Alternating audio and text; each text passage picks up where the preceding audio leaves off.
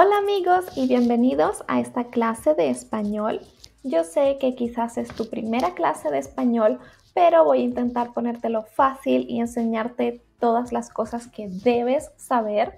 Así que es un muy buen comienzo. Bienvenido a Spanish Education. Welcome. Yo soy Susana Lescano, pero todos me conocen como Teacher Susie porque tengo la Academia de Español Online más grande de Internet. Se llama Spanish the Fun Way y está en OutSchool. Por cierto, si tú tienes niños, ellos deben probar una clase totalmente gratis con el código Spanish20. Spanish 20 at Spanish the Fun Way, ¿ok?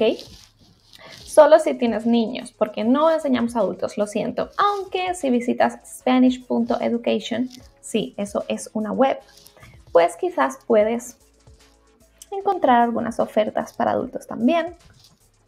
Pero bueno, vamos a empezar con esta clase que tengo preparada para ti. Vamos a empezar por cosas muy básicas, pero más adelante te voy a enseñar incluso frases que son súper útiles y te van a ayudar mucho.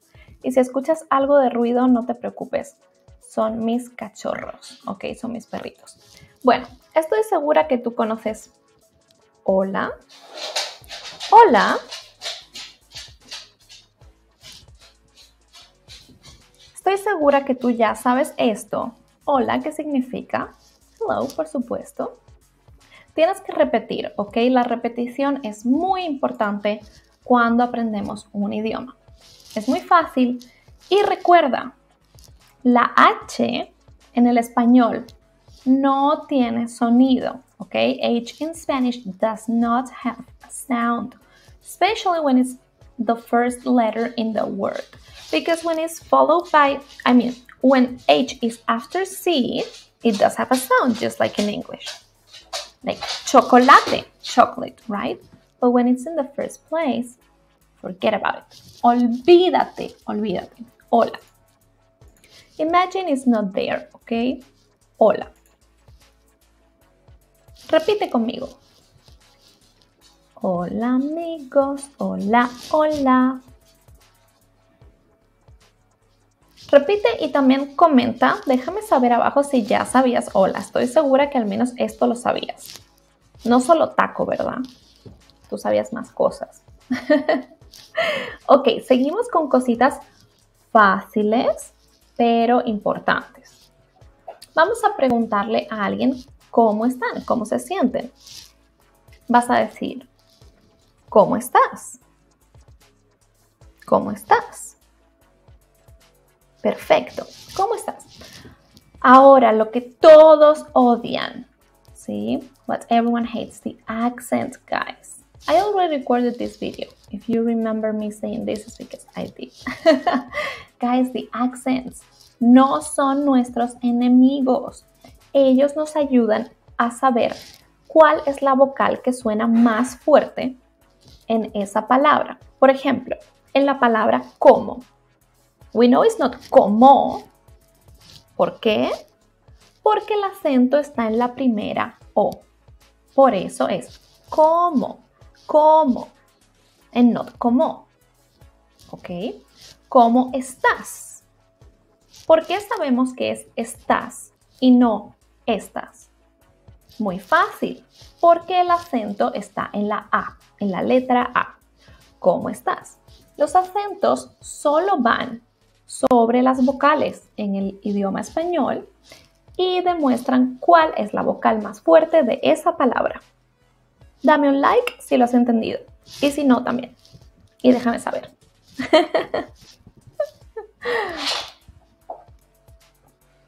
ok, ahora vamos a responder a esa pregunta. ¿Cómo estás? Estoy bien. Gracias. I'm good. Thank you. Tu turno. ¿Estoy mal? No. Estoy bien, gracias. Excelente. Ahora tú solo. Oh, por cierto, es 1 de mayo. Creo que es buen momento para decir hola, primavera. Hi, spring. Hola, primavera. Me encanta la primavera. ¿Te sientes agradecido, di gracias. Gracias.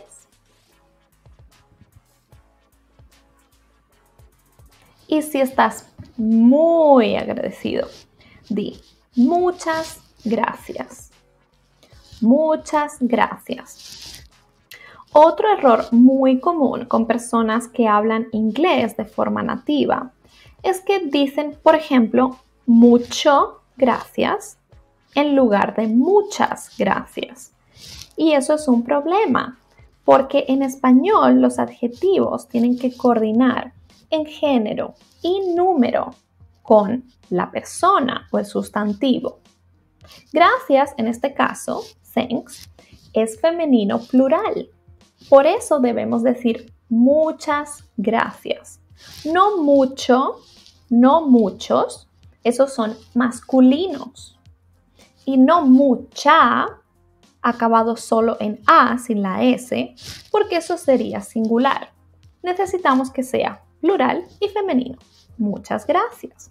Después te voy a enseñar más ejemplos. Pero eso es muy importante que lo entiendas porque es muy diferente del inglés. Vamos, inténtalo. Te escucho. No te escucho. Gracias. Ajá. Y muchas gracias. Correcto. Ese es mi estudiante. Muy bien. Ahora, estos son los básicos totales. Cuando ya te vas, tú dices adiós. Adiós es goodbye, pero también podemos decir hasta luego. Hasta luego es más casual. Hasta luego. Gracias. Recuerda, la H no suena. Hasta, hasta. Hasta luego. See you later. Hasta luego. Los dos son muy útiles. Eso es verdad. Vamos a practicar. De nuevo, desde mi casa te estoy escuchando.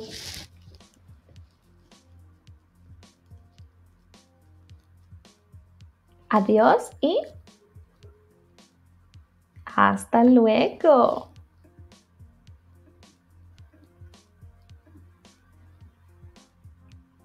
Recuerda que la repetición es muy importante cuando estamos aprendiendo un idioma y recuerda también suscribirte y dejarme qué clases te gustaría ver aquí en Spanish Education. ok, después de la clase me gustaría que siguieras practicando todas estas frases, ¿de acuerdo?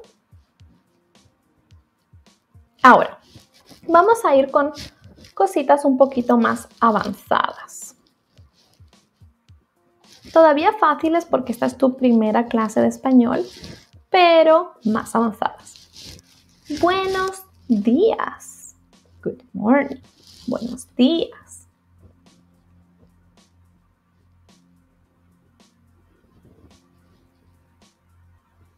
Buenas tardes. Good afternoon. Buenas tardes.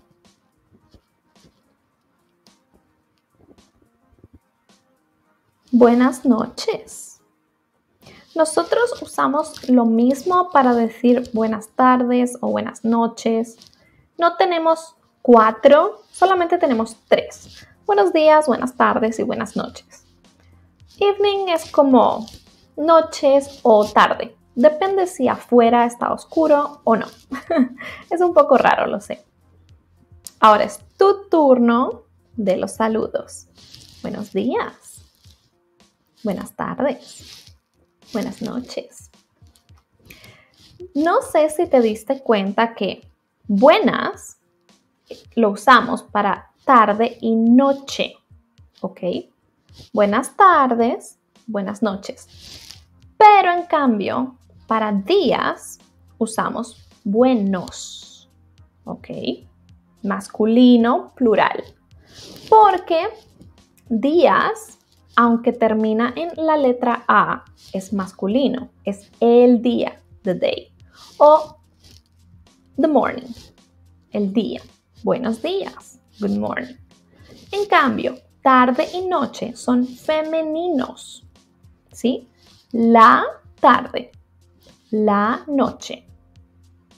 ¿Ok? Por eso necesitamos usar buenas, porque son femeninos plurales. Buenas tardes, buenas noches. Si te gusta, déjame un comentario pidiendo que te explique más sobre los artículos. Por ahí tengo algún verbo. Si puedo, te lo dejo por aquí. Lo sé, lo sé, que puede parecer un poquito complicado al principio, pero te prometo que no es tan difícil como parece. Después de un tiempo te acostumbras y hay truquitos como fijarte en qué vocal acaba la palabra. Generalmente se acaba en O, es un masculino, y se acaba en A, es un femenino. Se acaba en OS, masculino plural. Se acaba en AS, femenino plural.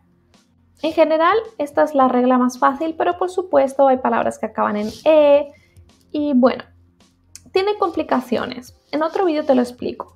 Solo quédate con que el español tiene género, te guste o no te guste, y no solo para las personas y los animales, como muchos idiomas, sino también para las cosas. Los objetos también pueden ser femeninos o masculinos. Imagínate las personas. ok, vamos a preguntarle a las personas por sus planes. Puedes decir, ¿qué vas a hacer hoy? ¿Qué vas a hacer hoy? Esa es una gran pregunta. ¿Qué vas a hacer hoy? Y para responder vamos a usar voy a. Voy a es I'm going to. Voy a. Y dices el verbo. Voy a comer. I'm going to eat. Or voy a estudiar. I'm going to study. En español no necesitamos nada delante del verbo. En inglés tenemos que decir to, ¿verdad? To study is what makes it a verb using to. En español no es así. En español lo que lo hace un verbo es la terminación. The ending are is what makes it a verb. In Spanish, when you see a word ending in are, er, or ir, that's a verb. Estudiar. To study. Muy fácil. Voy a estudiar. Practica conmigo. ¿Qué vas a hacer hoy? Y ahora responde con una actividad real que vayas a hacer. Déjamelo ahí abajo en los comentarios. Los voy a leer todos.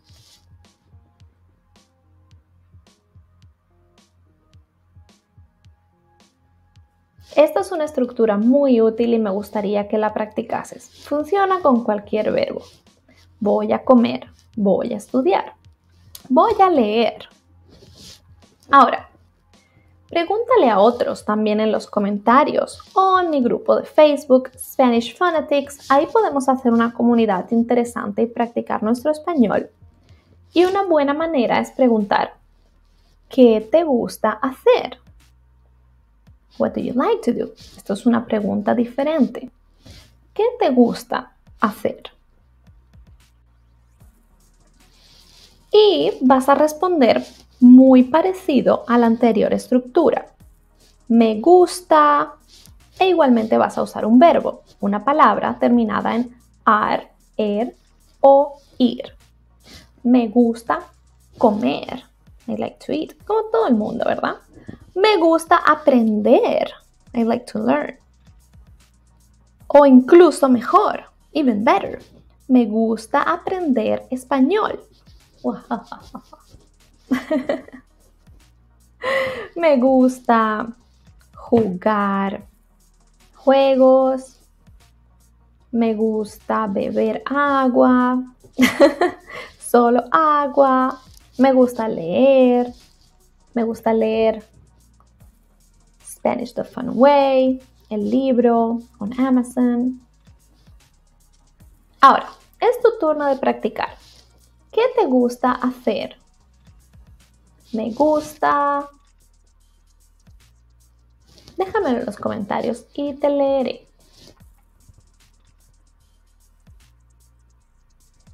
Ahora, no hemos acabado todavía, chicos.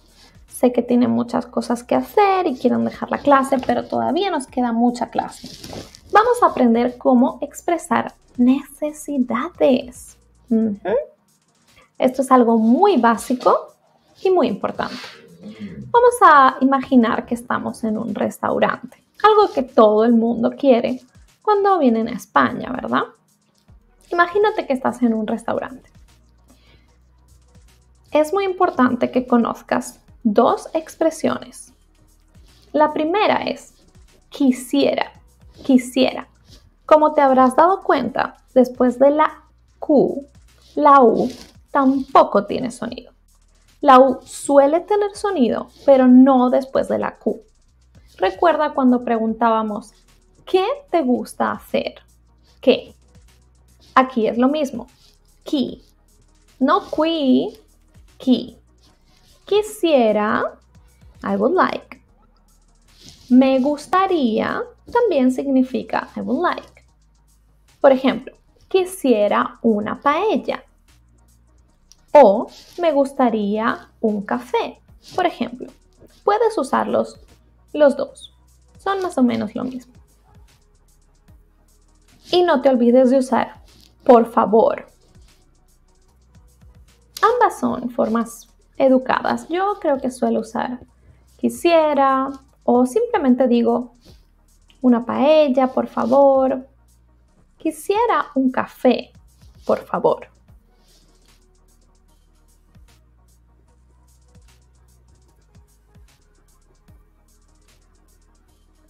Ahora, déjame también en los comentarios qué te gustaría pedir en un restaurante español o mexicano o argentino. Recuerda que dependiendo del género de la comida que vayas a pedir, deberás usar un o una.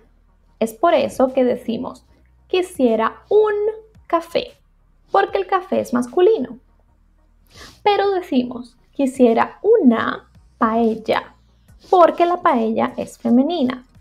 Y si quisiéramos varios, por ejemplo, si somos cuatro en la mesa, pues debemos pedirlo en plural. Tendríamos que decir, quisiera unos cafés, por favor. El plural es muy simple, solamente añade ese al final, como en inglés. Si quisiéramos pedir paella para todo el mundo, diríamos, quisiera unas paellas, por favor. Quisiera unas paellas, por favor. ¿Sí? Es fácil, es cuestión de práctica. Y recuerda que eso es lo más importante, la práctica. Si quieres practicar un poquitito más tú solo o si tienes niños con ellos también, mi libro es muy bueno para eso. Te dejo el QR ahí arriba, está en Amazon y tiene muchas categorías, el restaurante, el parque, frases para todo. Puedes hacerlo como un curso completo o puedes abrir una página random y leerla. Te lo recomiendo mucho. Está en Amazon y tampoco olvides el código Spanish 20, Spanish 20 en cualquier clase en Outschool, pero especialmente te recomiendo las de Spanish Fun Way, que es mi academia, por supuesto. Y bueno, dicho esto, espero que te haya gustado mucho, mucho, mucho este vídeo. Compártelo con quien pienses que le puede ayudar. Déjame por ahí abajo qué otras clases te gustaría ver. Y por supuesto, suscríbete para no perderte otra clase que grabemos aquí en Spanish Education.